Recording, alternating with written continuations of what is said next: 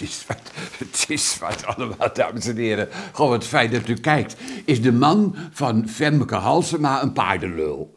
Kent u die uitdrukking? Is de man van Femke Halsema een paardenlul? Dames en heren, in een interview met NRC Handelsblad verwacht hij, dus de man van Femke, dat zijn vrouw, die burgemeester van Amsterdam is, zoals u wellicht weet, dat wel van hem zal vinden. Uh, hier staat het hier in dit, in dit, dit weekend. Ja, gaan we lekker liggen. Dames en heren, uh, en waarom? Waarom denkt hij dat, dat zij van hem vindt dat hij een partner is? Omdat het onklaargemaakte pistool waarmee hun zoon in juli een verlaten woonboot binnenviel, het allemaal wel gelezen en als u het niet gelezen hebt, nou, dat maakt toch helemaal niet uit. De, die pistool was van hem.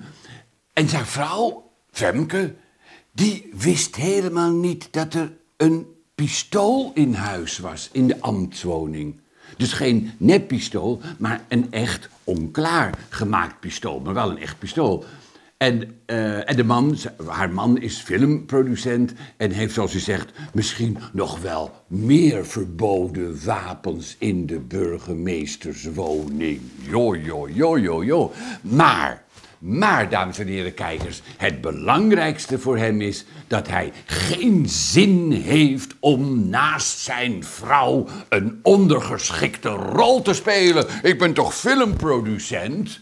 Als hij bijvoorbeeld met zijn auto parkeert op een late losplek en zijn vrouw die naast hem zit en als burgemeester het gezag vertegenwoordigt gaat gillen. Dus loopt dus een late losplek. Zoals hij zegt. Dan, dan vindt hij het onzin. Ach, zeik toch niet zo. Terwijl hij weet als er een foto in de Telegraaf of in NRC, tegenwoordig NRC ook komt te staan met als onderschrift burgemeester lapt de wet aan, lapt de wet aan haar laars zijn vrouw in moeilijkheden komt. Ja, dames en heren, met zo'n man die jou aan publiek kapot maakt, heb je geen telegraaf meer nodig. Mm. En aan de andere kant, ja, dames en heren, aan de andere kant, ach, ik, kijk, ik, ik leef ook mee met, de, met, met, met die man. Hè? Oh, hij vecht voor zijn eigen identiteit, natuurlijk. Zijn eigen leven en zijn eigen carrière, zijn eigen werk. Alleen kan dat nooit samen.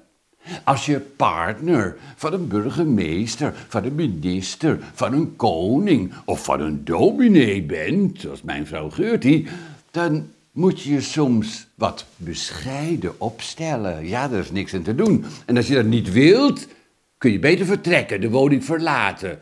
Dat zou ook het beste zijn voor de man van Femke Halsema.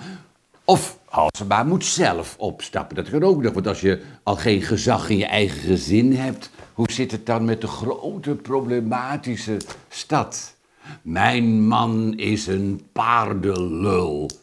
En u weet, dat is geen kleine lul, dat is een extra grote lul. Ik heb er hier een voorbeeld van, voor de mensen die dat niet weten. Kijk maar even, zo, niet te lang. Zo, ziet u wel? Nou, ik wens u een hele fijne voortzetting. Liefst met een partner zonder paardenlul. En een aangenaam etensmaal met spekjes wat nog. Wat een, wat een wereld. Mm.